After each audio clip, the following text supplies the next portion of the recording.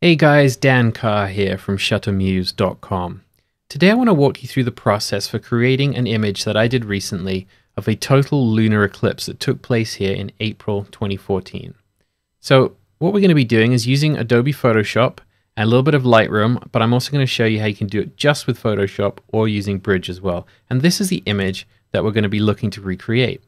Now, I'm going to show you how I put together this sequence and edited these images in Photoshop. If you want the technical details about how I shot the image in the first place, things like equipment and camera settings, there is a detailed blog post that goes with this video. If you're watching directly on YouTube, head to the link in the description below.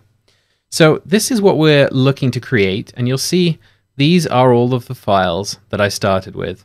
And um, yeah, quite a lot of them, but this process of the eclipse was about three and a half hours long. So lots of different images of the moon in different stages.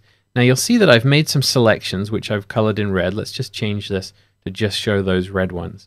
Now I've cropped everything out around that because we just need the moon section there. And I've made some basic adjustments to these images in Lightroom here. Now this is important because there's a couple of different ways we can do this. Now the first way that I'm going to show you is a little bit easier and it's going to be perfect for 95% of people out there. And this requires that you make your adjustments to the image before you import them to Photoshop.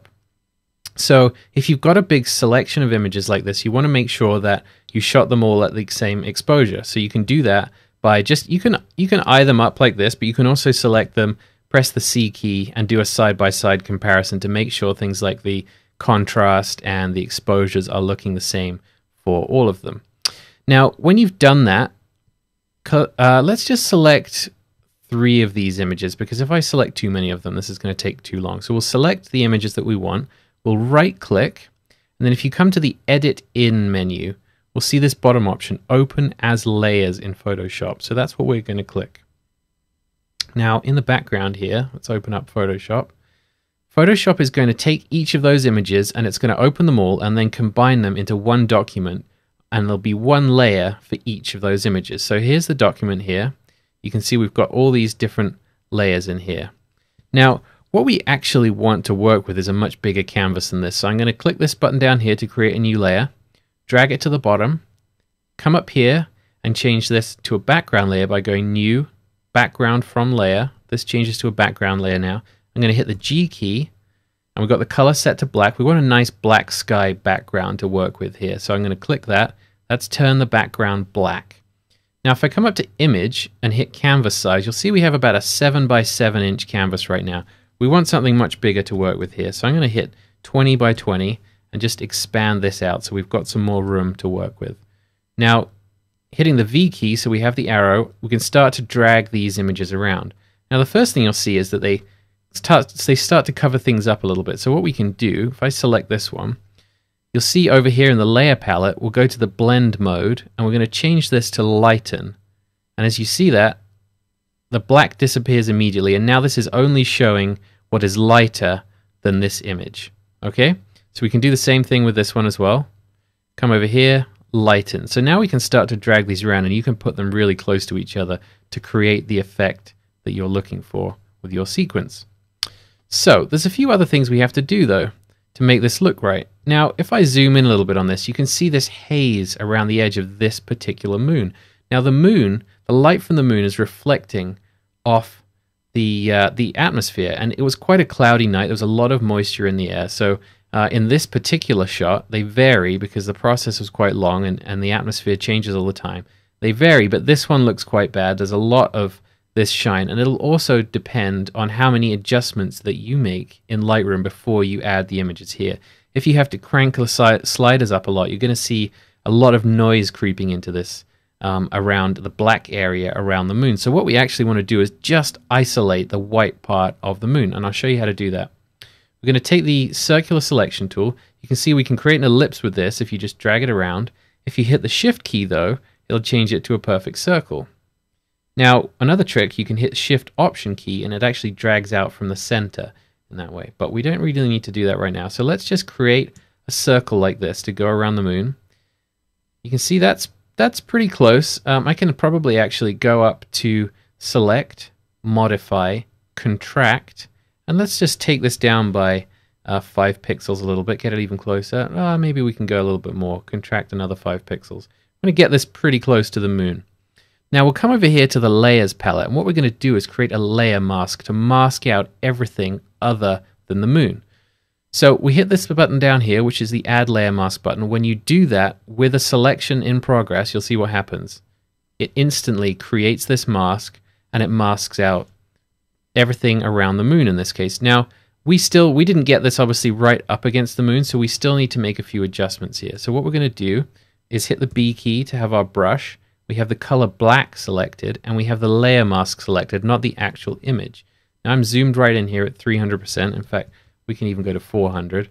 And what you can do is start painting with the brush very carefully along the edge of the moon like this. Okay? Now, remember that this is a layer mask, so you're not actually painting on the image, you're just painting on the mask. So you can always go backwards if you make a mistake. So if we make a mistake like this, we can hit the X key, and that switches the brush to white, and then we can just brush that right out again. Okay? So back to black, and we can fix that right. There we go. Now, I'm not going to do this. This take quite a long time. It is a bit time consuming. Um, but if you zoom out, you'll see that here we're getting a nice crisp edge to the moon on our black background now. So what you would do is go around each of your moons, and this is going to take out any of the noise that was in the blacks and uh, any of this sort of atmospheric haze that you get, the light reflecting off the moon. Now, once you've done that, let's actually open up. We'll go back to Lightroom for a second. Let's change this and let's find our original document here. So edit in Photoshop. Uh, let's edit the original file so we can just open up and you can see what this file looks like once you've done everything. Now I used a bunch of guides to line all, all these things up. We can hide those. But you'll see over here in the layers palette, each of my sections and each of these moons now has a layer mask. So everything is painted out apart from the moon and we have really nice crisp edges to all the stages of the moon like that. And then you can take these and arrange them. You know, I chose this this sort of arcing pattern here, but uh, there's lots of other ways to do it. You can create um, diagonal lines. In fact, in the blog post, you'll see a few more, but you can see I've got some other options that I put together here. Uh, in the end, I really liked this sort of arc that goes round. Now, there's another way that you can do this. If you don't have uh, Adobe Lightroom, you can also load them directly from Photoshop. So you go to File, Scripts, oh, Scripts, and then Load Files into Stack. Now here you can choose either files or folders. Let's choose a folder. Now if I just come here for a second, we'll go onto the desktop, open up this folder, and I have a special folder here that I've created for this tutorial called Moonstack. If I just click open there, you see these files that are in that folder and you can click OK. And it's going to do exactly the same thing. It's going to open those three images each on their own layer, just like it did when we opened them into a stack from Lightroom. So let's close that one. We don't need that one. I'm going to show you one more time how to do this in Bridge as well. So here is that exact same folder there, those exact same three files. With this one, in Bridge, you can select the files, and we come up here to Tools. It's going to have a think about this for some reason. Okay, Tools, Photoshop. And here we have, it's, everything's labeled slightly differently, but here it says Load Files into Photoshop Layers. So we do that, and again, the exact same process happens. We get each of these files in separate layers like that. So that's the important thing to keep everything in separate layers and to paint out all of this stuff that you don't want using a layer mask and not actually painting it out or or editing it out with a, eraser. You know, that's the worst thing you can do. The beauty of Photoshop and using layers and all the tools is to be totally non-destructive with everything. So layer masks are your friend when you're creating this. And then once you've done it all, you'll have something that looks like this. And you'll have each of these layer masks and uh, hopefully a pretty awesome looking moon sequence. So there's one other way that I want to show you guys. This method required you to edit the photos in Lightroom and get them all synced up and looking uh, similar to each other and how you want them in the final image before you bring them into Photoshop. There's actually another way that you can do this. It's actually the way that I did it. It takes a little bit longer, um, but it gives you a bit more flexibility. So if you're really into it, um, let's continue and let's have a look at this. Now we'll come back into our section here. We've got these files um, that we like, the red ones, and let's click. Let's right click on one of them this time, and sorry, we're going to go edit in, and this time we're going to hit open as smart object in Photoshop. Now, what a smart object is, is essentially a raw file within a layer of Photoshop. So now we have this image, we have this layer, you can see it in here, and you have this little symbol in the corner. Now, this means this is a smart object. What happens with a smart object is when you double click on it, it actually opens Adobe Camera Raw, so you can continue to make adjustments. So, for example, let us say that we wanted to go back to Lightroom. Let's open a second image, edit in, open as smart object, back to Photoshop. Now, let us take this, we'll right click on this one, the smart object, click duplicate layer, change the document to the previous one. And what, what this actually does is duplicate this smart object into this document with the other smart object here. So now we have two smart objects.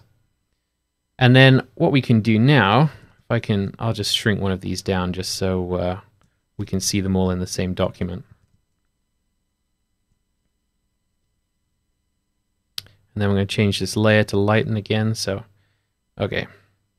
Now, the beauty of this is that your changes haven't been baked into the image when you've imported it into Photoshop. You still have the freedom to make completely um, regular raw file adjustments once you've put this together. So you can load in all of your images and then you can start to tweak things, add a bit of contrast, add a bit of clarity, adjust the exposure of one moon versus the other one. Because over the course of several hours, the exposure on the moon, especially during an eclipse, really changes a lot and it's difficult in camera to get them all looking exactly the same.